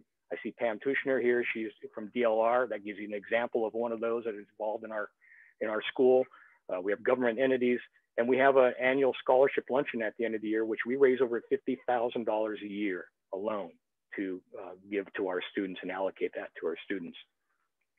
So in closing, um, I know we always have room to, to, to better ourselves. And uh, we can do that as, as our influence allows us to maybe expand um, our resources and, and our success. We learn more from others and it's always been about the synergy. You know, we have an interesting Asia, uh, international Asian um, contingency in our in our program, which really creates an interesting learning environment. And so, with that, um, Stephen, I guess I'm waiting for you and your, your magic question. For sure, for sure. Um, well said, Professor Hamner. Um, let's see, let's see. So our first question is, uh, how do you support students who are having difficulty getting materials for their design projects due to the pandemic? I'm worried that maybe a student asked this and we haven't been able to take care of them. So we'll, we'll, we'll figure that out. You know, I, I have a little bit of what we call a, um, a hidden stash in our program. Uh, part of it has been uh, HMC. Uh, I know I understand. I just read something with Woodbury. They received a the bridge grant about ten thousand dollars. I think I received one too as well last year. And uh, you know that's our, kind of our rainy day money, and it's used. I never could have imagined we'd be in this situation, and so we we will buy the necessary material we need. And, and I have one of my staff members is on this this uh, is in the audience here tonight as well, and he makes it his personal endeavor to go and meet at neutral places or we set up a, a spot, a drop off spot, meeting all the COVID 19 protocol, and we get the material to our students. Um, that's part of you know, what we have to do to be successful here. This is that, again, the support. This is where they trust us. And, um, and, and I don't know if I've answered that as, as, as simply as I could, um, but we, we, we reach out. We, that's part of what we do. Thank you. I, I think that was a really good um, question for you to ask, Stephen, um, something that I'm sure many universities are thinking about right now. Um, so thank you both um, for representing ELAC, and um, we're going to move on to the next school. We have two more to go. Um, so up next, we have USC, and representing the architecture program there is the Associate Professor of Practice, Esther Mar Margulies, and also we have a current student, Byron Wong. Thank you very much, Joshua, for uh, including your alma mater in this great program. Sure, we weren't your first choice, maybe, but here, anyway, uh, we're actually our dean is about on the verge of, of posting and publishing his statement on anti-racism and equity. So I will stay out of the policy side of this and talk to you only about the practice, about what we have been doing over the last few years. We are on a multi-year trajectory to educate and empower our students to take on issues of racial and social inequity through scholarship and practice. We're developing a culture of citizen architects to encourage all students to see equity as their professional and civic duty. We began these efforts to address inequities in our own school in 2018 when we crafted a five-year strategic plan to increase DEI resources and impact across the entirety of our school, including students, faculty, and staff. And so far, I wanna let you know where we are seeing success.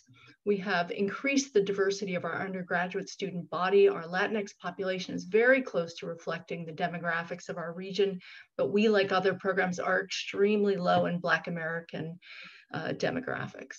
We're increasing our first generation college students. We have a significant number of first gen students coming from local high schools and admitted as transfers.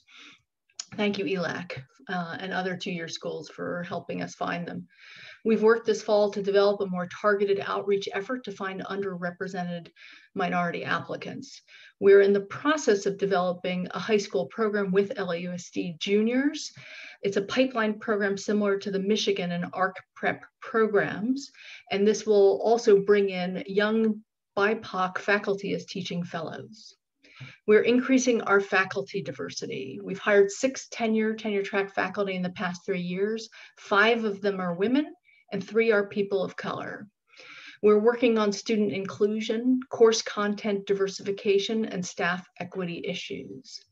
Last year, or last spring, when some of our students experienced financial impacts from COVID, we pulled together an emergency support and funds for exactly those kinds of, especially studio related and technology uh, emergencies.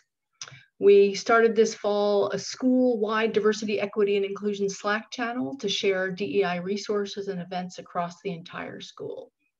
We've had an incredible diversity out uh, and outreach in our lecture series with speakers who have inspired all of our school disciplines. We're currently working with the Getty on programs to share the Paul R. Williams archives.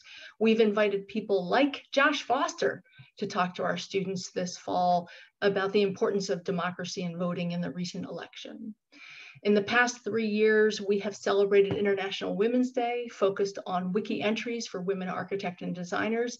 This year, we will engage our students in research on Black American architects and designers.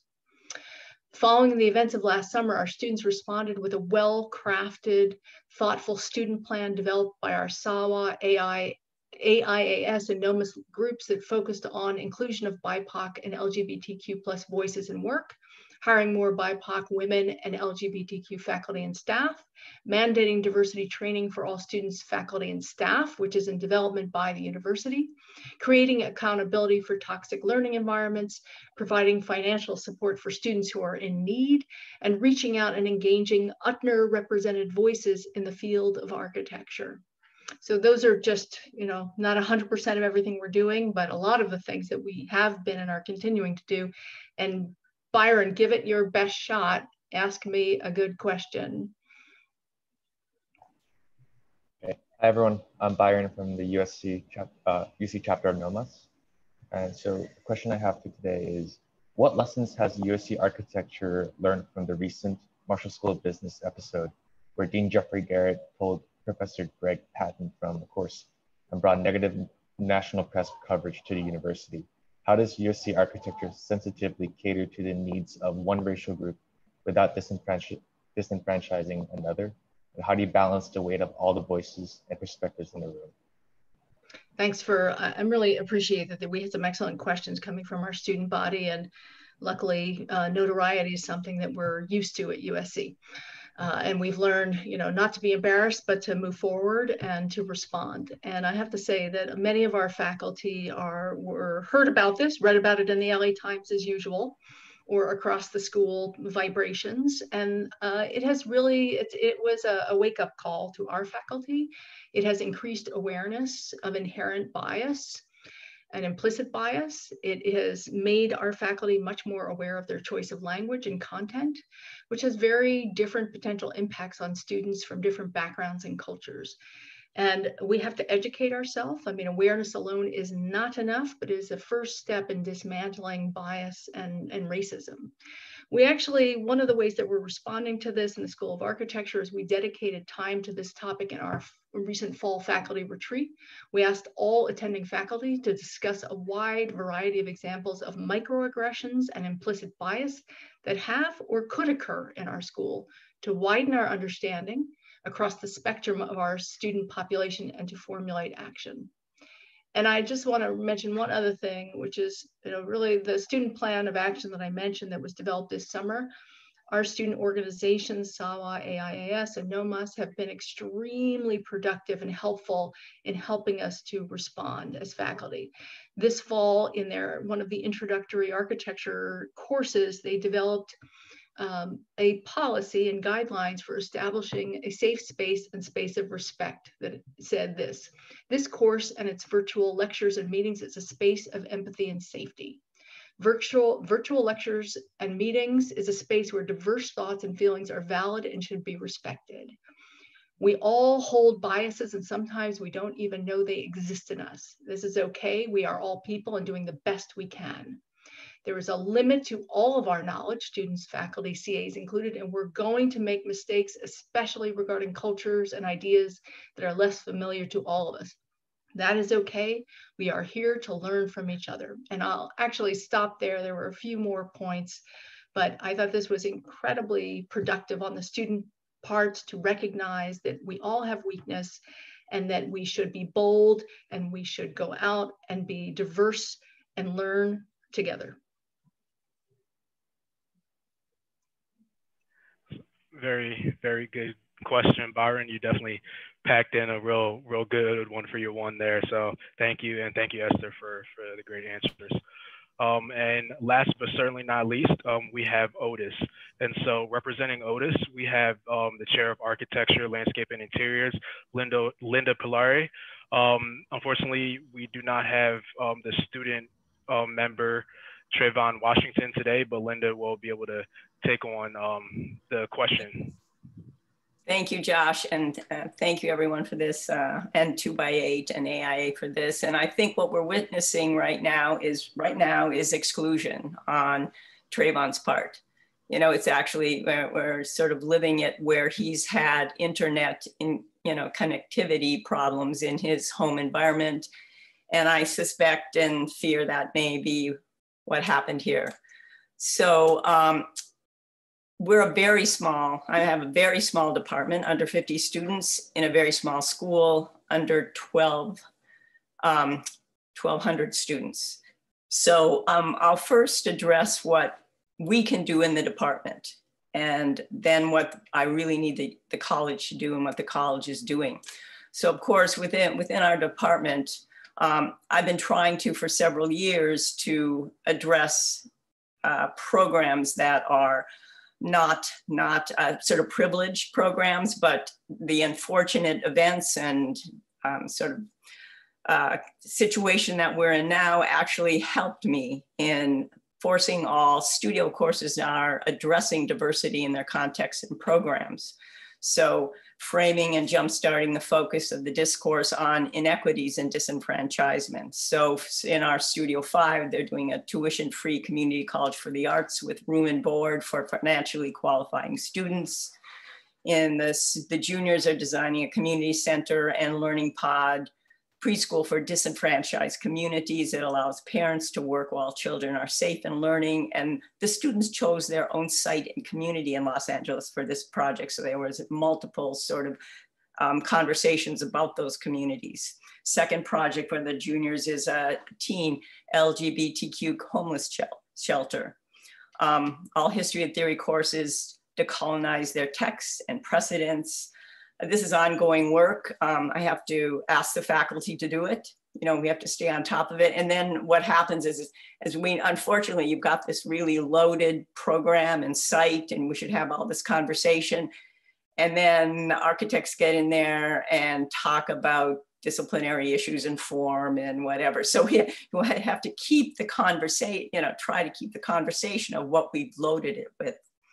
Um, uh, our students, architecture, landscape, and interior students, a small group joined uh, NOMA in September. I joined it, joined it as well, and they are close to completing bylaws for their NOMAS student chapter, and there will be an Otis NOMAS club necessary.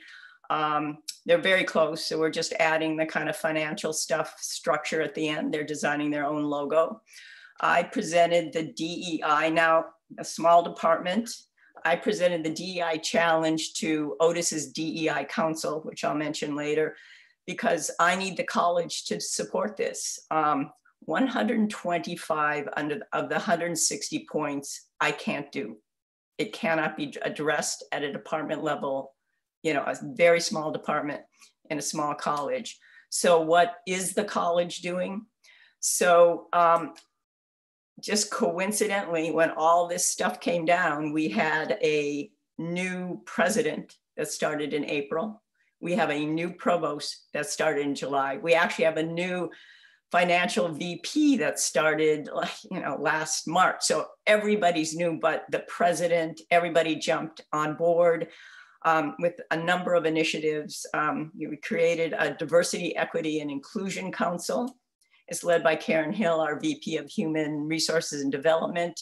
So their charge is they're going to inventory current DEI efforts at the college. They created their charter, of course. And they created a DEI statement that will guide the college. Now that's, they created that, it was distributed to everybody, faculty and staff, uh, students as well for input in the last month.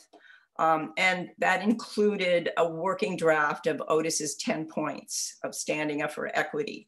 And I'm gonna just really quickly summarize them. Um, it's, we do not tolerate racism or any other form of violence or discrimination, dismantle systems of oppression, recognize the college's historical struggles around equity, recognizing diversity. We commit to identity, and dignity and respect, we commit to responsibility to redress unjust histories, commit to correcting inequities, commit to hold one another accountable. We commit to honesty, vulnerability, and openness as we do this, and commit to an intersectional and justice-oriented approach. Um, Otis's uh, college's new DEI website should launch before 20, next year, within the next month. Um, there will be an external and objective audit of the college on diversity, equity, and inclusion. And uh, an important thing, a new executive position at the vice president level has been created. There's a search committee is at work. It was formed and it's at work selecting candidates and we should have that VP position at Otis by February. Um, we will have mandatory anti-racism training for all students, faculty, staff, and trustees. Um, the college has identified several platforms and courses for this, but we're waiting for, we'll let the, the VP, uh, the DEI VP choose this. Prior to the start of the semester, the college created the Black Creatives Institute, for incoming Black identified students to build community and support personal growth, identity, cultural and career development. They've continued with monthly meetings. Um, and for me, and well, all of this is incredibly important, but I think really very concrete things have happened in our admissions office. They added Otis diversity, diversity scholarships to support underrepresented students specifically. Um, and here's where we, and I'm sure many, certainly private colleges have suffered or, or not suffered or, or been incorrect, missing, missing the boat. Um, we are now adding 50 local diverse schools to our outreach list. Private schools office reached out to international student population as opposed to looking at our, our own city and the communities within our own city, but Otis is doing that now. Um, we're supporting, admissions is supporting students who have less access to art and design classes at the high school level by adjusting the portfolio requirement and mentoring students on producing them. And modified the liberal studies transfer credit acceptance policies to attract more community college transfers and their diverse populations. We're offering admissions and financial services appointments in Spanish, offering Spanish language assistance and question submission at virtual events. And students now submit their pronouns on an online application and on their preferred name form. So that's, those are the things the colleges are doing. And I hope that the college is going to support the department, you know, even though the, the, the NOMAS DEI challenge is architecture, those uh, initiatives and goals cross all of our disciplines, of course. And I think the college is going to, you know, support us in this and sign on. And that's that's my goal in that regard. Um, fortunately, Trayvon not here. Um, I could, uh, uh, I'll do a quickie, one of his questions. How does your department plan to ensure that your work as DEI advocates is sustainable? Um, uh, I have to do it. That's all I say. It's like my department, it's me. So it's up to me. I have to keep, eh, but with the college behind these, eh, having very concrete efforts and keeping the, the discourse happening, the DEI Council is um, going to set up and, and did this fall set up a forum every semester for the entire community to come together, discuss these issues and have breakout sessions, which was really interesting. 200 people trying to do breakout sessions it didn't quite work. We we got, it took a little while to get our little breakout teams together but it was a, a great discussion we had one in september and i'm sure we'll do one in the spring semester. So thank you. Great. Thank you very much. Thank you. And so we thank all of you for sharing um, sharing all of the things that your your colleges and universities are doing um, and the great questions. Um, to to wrap it up, um, we want to still give time to to our special guest that we have, um, Professor Bradford Grant. Um, a quick a quick bio on Professor Grant um, is he's a professor of architecture at Howard University out in Washington D.C. He has been in leadership roles at Hampton and Howard University as chairperson, director, associate dean, and interim dean.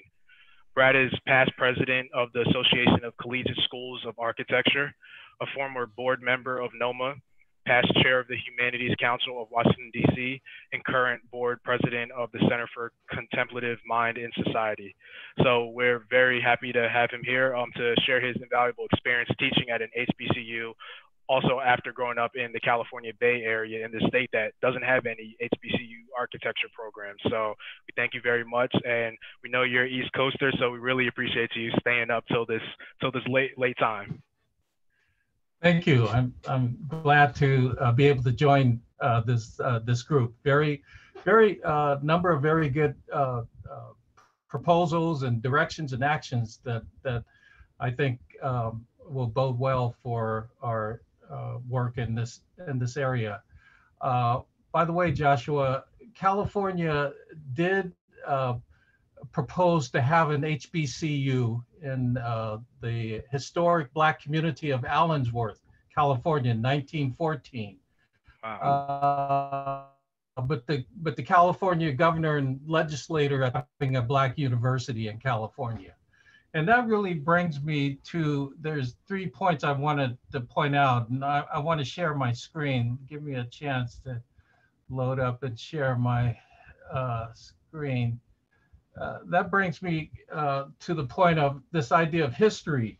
Uh, the HBCUs, of course, has this history that that focuses on the the connection to the Black experience, and that becomes very important. And it, and they have always, even from the beginning, had a, a kind of a service orientation. This is a a photograph of the Hampton uh, Trade School, which the School of Architecture uh, was founded in and and the HBCUs, the historic black colleges and universities, uh, were really some of the first um, design Sorry, Brad, build we can't see your program. screen actually. Are are you sharing something?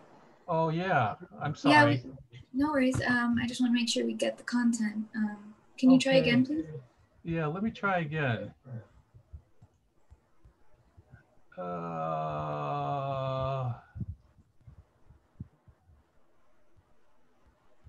well, okay. I won't share a screen. But but let me back up and say that that the HBCUs were the uh, first uh, uh, design build programs uh, in our in our country, and so this idea of really having a focus to to the uh, black experience becomes important. But I think one of the lessons that we can learn here is this idea of history. I think in each of your programs, uh, there needs to be a, a, a, really a close look at your history, both the good and the bad history, the name of your buildings, the name of your plazas, and what does that mean? What and and how does that uh, uh, and is there acknowledgement that needs to happen? Is there any repair that needs to happen, or even an apology?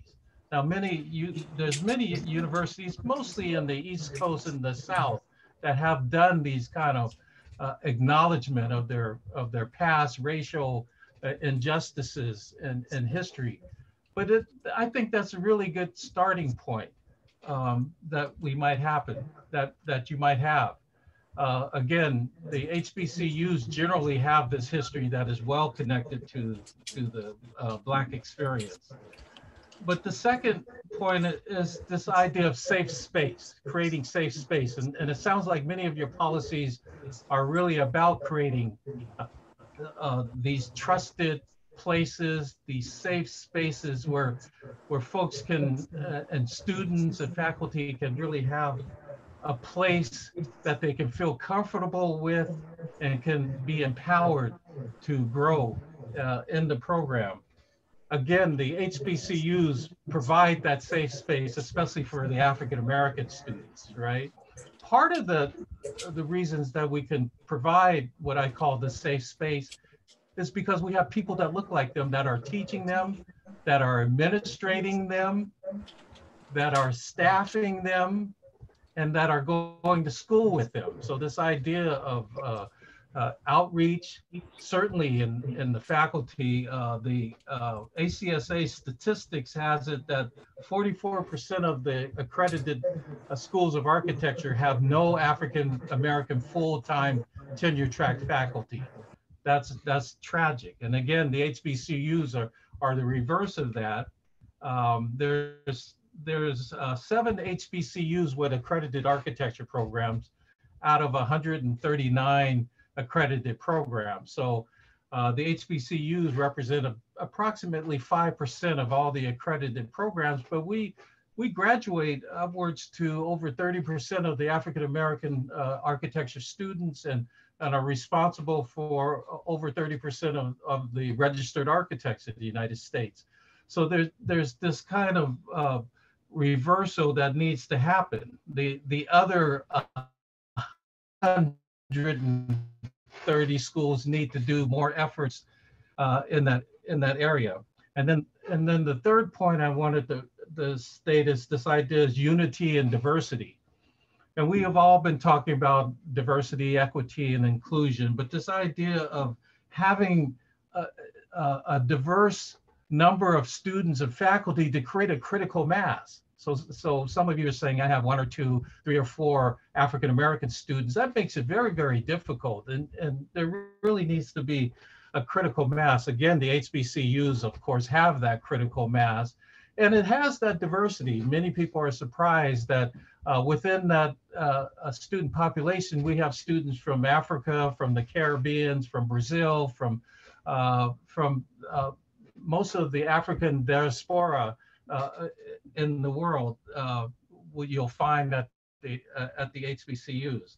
Um, oh, the HBCUs, the seven HBCUs will uh, have what we call an annual forum where we have all the schools gather in one place and really, really talk about issues that uh, reflect their experiences and their and their background.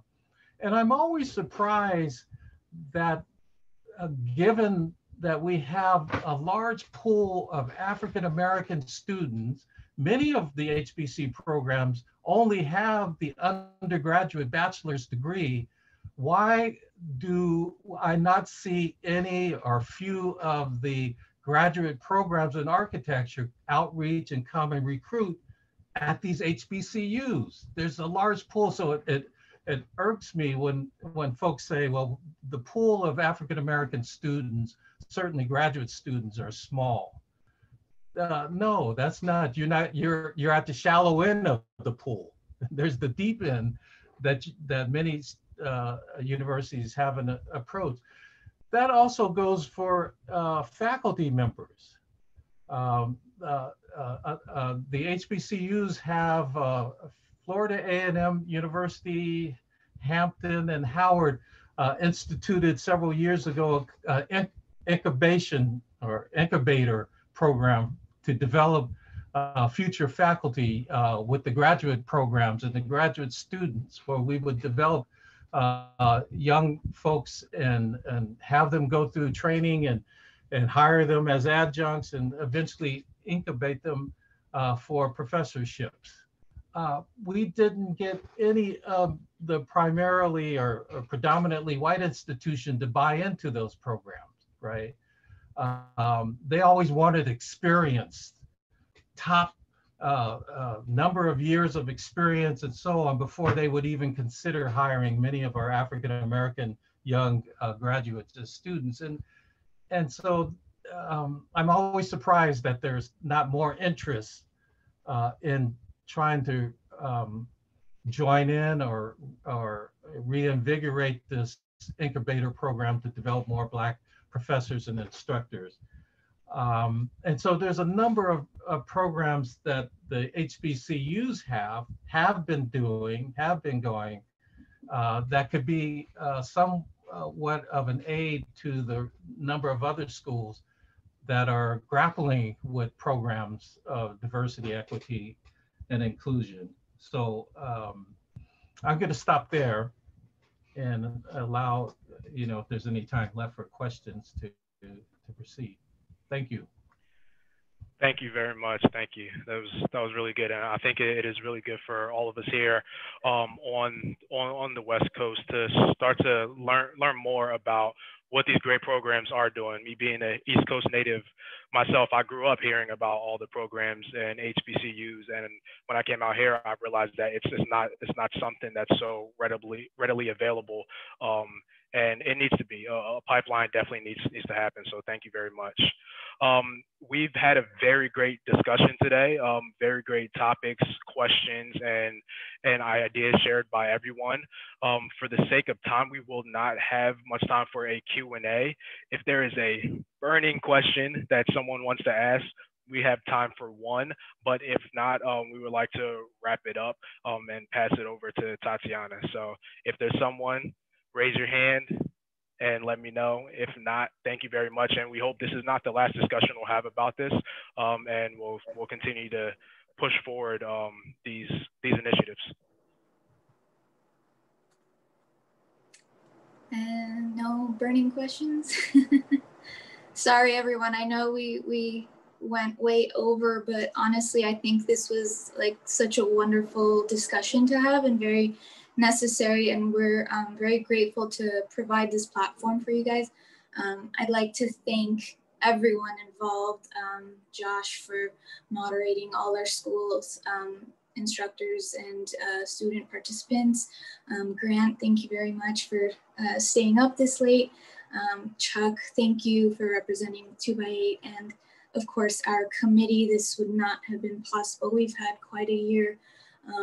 and I think key some key takeaways from this um, discussion is the visibility and the um, awareness that it all uh, produced, right? Um, it was great to see specifics that each college talked about that they're doing. Um, and I think some of the ways I'm thinking on how we can continue this conversation is um, maybe creating this platform was was our way um, but I, I don't know what that'll look like in the, like creating a, a task force or um, something to keep up this dialogue. Um, and I think specificity is key.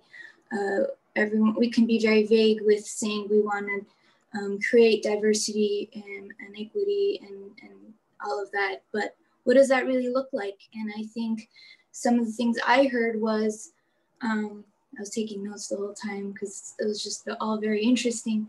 Um, but how you take it to a student level and how um, you actually let them speak and you hear them and um, just I, I, have so many comments but i know we're so behind on time um, i think if you guys have any additional questions comments concern anything like reach out to AIA, reach out to any of us. Um, uh, I think we'd love to really uh, carry on this dialogue with all of you. Um, if there's anything specific you think we can do, uh, we're always open to that. You know, this is the first time um, we've had a panel discussion like this one, um, and it was in conjunction with our 2 exhibition. Um, and so we're always open to like furthering this dialogue with you all. Um, so it's way past East Coast bedtimes. I'm sorry, uh, but thank you, thank you all for participating. Um, we really appreciate it. I think this was wonderful. Thank you for organizing this. This was lovely. Let, let's let's thank continue the, the vulnerability, I think, in architecture. Let's continue the awareness, the transparency on top level, like down to the bottom. I think that's really important.